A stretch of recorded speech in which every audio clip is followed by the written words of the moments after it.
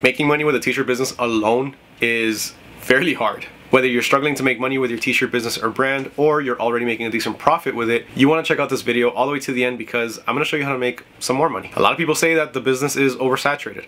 There's too many people selling custom t-shirts, too many brands that are starting up, nothing's original anymore, this, that, whatever it may be. There's a lot of people in the game. And to an extent, I agree. Anyone can go to their local Michaels or hobby store, they can check Amazon, they can check places like Heat Transfer Warehouse, and they can purchase a Cricut or Cameo for fairly cheap. You know, the prices of material are reasonable and the learning curve is not that big. But just because there's not a lot of money in it doesn't mean that there's no money in it. Everything I'm going to cover in this video uses the equipment that you already have and I'm also going to cover a few things that really don't require any equipment. So let's start with the basic vinyl cutter. Let's say you just purchased a vinyl cutter and you're trying to make t-shirts and you're just not making money, there's not enough customers, you've gotten a couple sales here and there, but not a lot of people are just ordering t-shirts from you. What do you do? How do you make a couple of extra bucks? Well, it's fairly easy. You already have a vinyl cutter. So if you're only doing t-shirts, why not bring in vinyl decals? Or you can think beyond that and you can start to do cardboard cutouts. Cardboard cutouts are huge on places like Etsy for things like birthday parties, baby showers, bridal showers, engagement showers, pretty much anything that you can celebrate, you can make a cardboard cutout for. You can make cake toppers using some thick construction paper. They come out really nice and they're super easy to make. There's a bunch of different things that you can do with just a vinyl cutter. Like I said, you have vinyl decals, you have the cardboard cutouts, you can do things like glass etching. Now when you etch the glass, you don't etch directly onto the glass. What you can do in something like this is cut out a vinyl decal, layer it over glass, and in the empty spaces you put something like Armour Etch. Armour Etch will burn the top layer of the glass and give it that nice etched look and it comes out really nice. You can even cut your own HTV and sell that to other people that don't have cutters but still want to make their own shirts. A cutter is super versatile and you can make a lot of money with it in a bunch of different ways.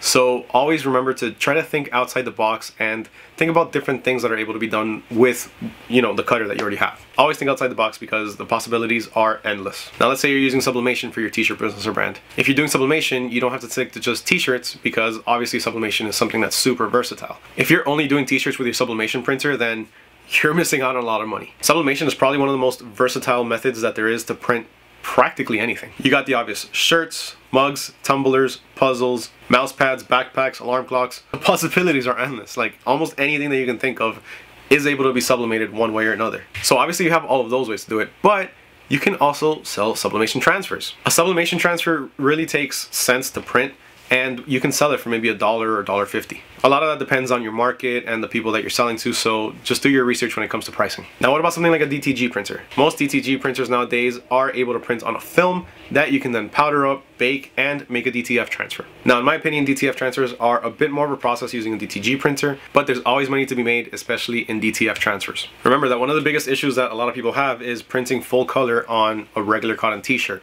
and a lot of people don't like using inkjet transfer papers. So one of the best options that you have is DTF. So the DTF market is out there, it's open, and trust me, there's money in there. White toner printers. White toner printers have a ton of different uses. With a white toner printer, you can do transfers, and you can obviously do your regular t-shirts, but get this, there's also different specialty papers that you can use to print on hard surfaces. So you can print your design and you can make something like acrylic invitations. Or even then, since it's a white toner printer, what you can do is get black paper, stick it in the slot, and print out black invitations with white ink. Now let me tell you that that looks classy. Supposed to be a teacup with your fancy pinky up.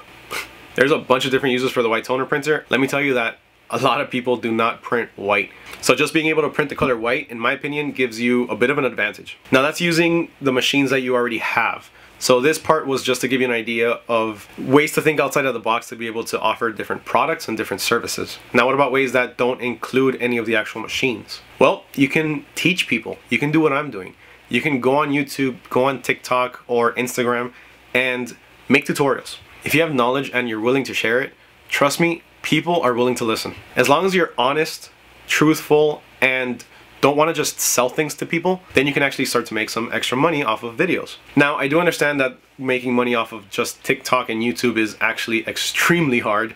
Trust me, my YouTube channel is still not monetized after like two and a half years, but we're right there. So if you'd like to help in getting this channel monetized and helping me make a couple of extra bucks, then I would greatly appreciate if you hit that subscribe button and hit that like button. Every like, watch, share, or subscription really means a lot. It helps me grow the channel, it helps me grow professionally, and it's very much appreciated, and I do thank all of you. And also let me point out that TikTok, there's no money in the creator fund. That creator fund is pure garbage.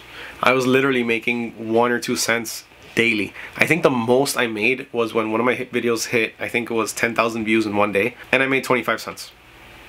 Now YouTube is a different story. YouTube is a bit harder to actually get monetized, but there's a little bit more money in it. Also on a platform like YouTube, it is harder to get your videos in front of people because these videos mainly show up on your browsing or when you search for it. Unlike an app like TikTok or with Instagram Reels where they'll put your video in front of a bunch of random people and if it starts to perform, they'll share it with everybody else. Now that's one way to do it, but that can potentially take a long time. Another way that you can monetize your videos is by affiliate marketing. Now I know a lot of people talk about affiliate marketing, a lot of people don't like it, they say it's really hard, there's not a lot of money in it, but just because there's not a lot of money in it doesn't mean that there's no money in it. And quite frankly, there can be a lot of money in it depending on the type of work that you put into it and also depending on your audience. Now if you notice in the descriptions of my videos or in my beacons page on my TikTok, you're gonna see a bunch of links to different products that I recommend, that I use, and that I've promoted. Most of those, not all of them, are affiliate links. Now in order to get those affiliate links, you need to apply to be an affiliate with certain places. A lot of companies have affiliate programs directly associated with the company and others use a third-party program like ShareASale. I'll have ShareASale linked down below so that way you guys can all check it out. Basically what it is, it's a site where there's a bunch of different merchants and you're able to apply to become an affiliate to whatever merchant you want. Now, I'm not saying go and apply to every single merchant that's in there. I'm not going to be recommending certain TVs if I'm trying to teach people how to make t-shirts. Be picky with the people that you affiliate yourself with because you want everything to fall in line with what you're doing. In my case, I'm affiliated with Heat Transfer Warehouse, HTVRont, and a couple of different others. Heat Transfer Warehouse has their own affiliate network, whereas HTVRont uses ShareASale. So once you apply to be an affiliate with X company and they approve you, you get your own links. Those links you can do like I do and you can put them down in the descriptions, you can put them in the link in your bio of your TikTok or Instagram. And whenever somebody clicks on that link, gets tracked and the commission is made by the person that referred the customer. Also, don't ever think that you're gonna pay more if you click on somebody's link.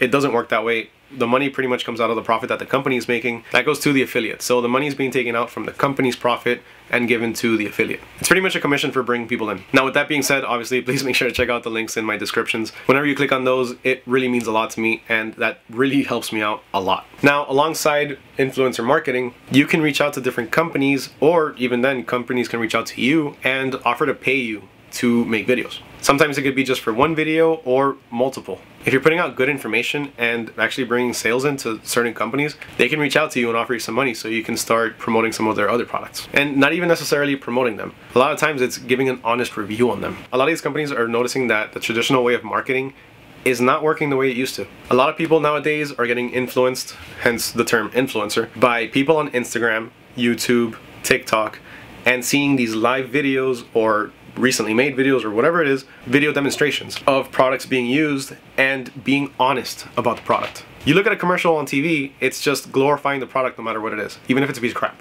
You look at some videos on YouTube and TikTok and you're gonna get a more honest experience. Some people will tell you flat out, this product sucked. The same way that there's a lot of good companies out there that are working with affiliates and influencers to promote their products, there's a lot of bad companies and scams as well. Now I know if you're just starting out, it's going to be kind of hard for you to notice these things, for you to notice which companies are legit, which ones are not. But before you accept any agreement, sign any contract or whatever it may be, research the company. Some companies can potentially pay an extra little bit of money to some people just so that way they can promote their products a bit more and just make them look better than what they really are. Now, thankfully, I have not had a bad experience with any company that I've ever worked with. Every company that I've been or currently am affiliated with has always been really good to me and their customers. Now, I know making money this way with videos as well as affiliate marketing is harder, but it's something that you can get started in the meantime and grow little by little. A lot of these things don't really happen overnight. A lot of this stuff takes time to build. Videos take time to record, time to edit.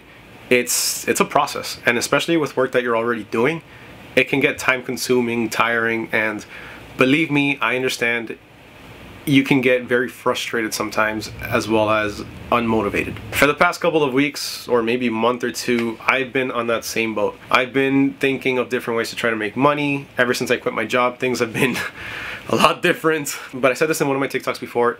To me, it's not about getting a bunch of money in one place because if you lose that, you're screwed. It's about getting little bit of money in a bunch of different places. So that way if one of those income streams decides to disappear for whatever reason, you still have everything else covering your butt. Another thing that you can do is offer something like Patreon. For those of you that don't know, Patreon is a website or an app where you can do exclusive content and people pay in different tiers or a flat monthly fee whatever it may be. And no, it's not to be confused with something like OF. a lot of creators are actually on Patreon and they offer exclusive tutorials, exclusive discounts, one-on-one help, a bunch of different options that are usually fairly cheap. Most of the subscriptions that I've seen on Patreon for something like this industry, the apparel decoration business, they're usually between like $2 a month to anywhere between 20 or $25 a month. And that obviously varies in what the creator's offering. But you can always try Patreon.